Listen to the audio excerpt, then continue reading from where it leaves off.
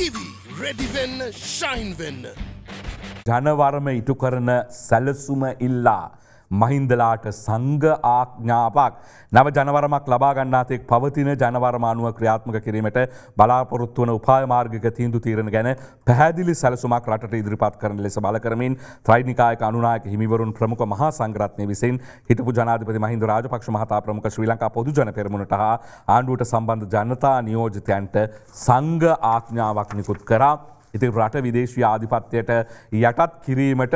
කටයුතු නොකළ යුතු බවටත් ආර්ථික මර්මස්ථාන විකුණා දැමීමද වහාම නැවැත්විය යුතු බවටත් මහනායක හිමිවරුන්ගේ අනුශාසනා පිළිගත යුතු බවටත් එම සංඝාඥාව මගින් තවදුරටත් අවධාරණය කර තිබෙනවා. පසුගේ දාහතරවනිදා කැලනිය මානෙල්වත්ත මහා විහාරයේදී පැවති සංඝ සමුළුවේදී මෙම සංඝාඥාව නිකුත් කරා. ඉතින් එම අවස්ථාවට සියම් මහා නිකායේ අස්ගිරි පාර්ශ්වයේ අනුනායක පූජ්‍ය වෙඬුරුවේ උපාලි අනුනාය හිමි කෝට්ටේ පාර්ශ්වය අනුනායක පූජ්‍ය මකුරුප්පේ සෝමාලංකාර අනුනාහිමි අමරපුර මහානිකාය අනුනායක පූජ දිමියාවේ අමරවංශ අනුනාහිමි රුහුණු විශ්වවිද්‍යාලය කුලපති පූජ්‍ය අකුරටියේ නන්දනාහිමි සියම් මහානිකාය රෝහණ පාර්ශවයේ පූජ්‍ය ඕමාරය කස්සප අනුනාහිමි පූජ බෙංගමුවේ නාලක අනුනාහිමි පූජ වලේ ගොඩ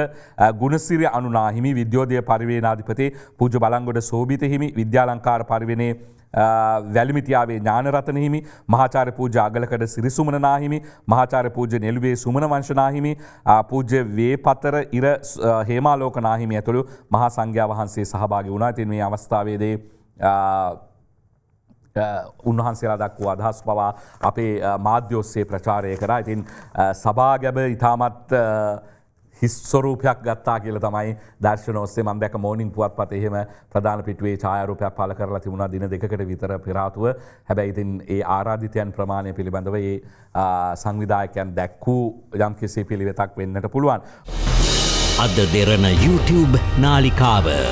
YouTube අද දෙරන දැන්ම සබස්ක්‍රයිබ් කරන්න.